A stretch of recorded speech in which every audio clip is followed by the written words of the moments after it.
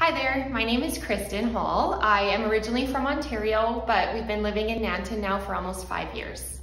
My story is kind of an interesting one. So when I was young, we moved around all the time. I think in total I went to over 12 different schools uh, growing up and basically Nanton is the first place that has really felt like home for us. And we kind of ended up here in a strange and interesting way. Uh, basically, my partner was living in Claresholm and I was living in High River, so we literally just met in the middle. And since we arrived here, it's just really felt like home and a place that we wanted to, I guess, invest in our family and invest in the community. Uh, and we've been so grateful. We've started up two businesses since moving here, and uh, we're just so happy to have them in Nanton.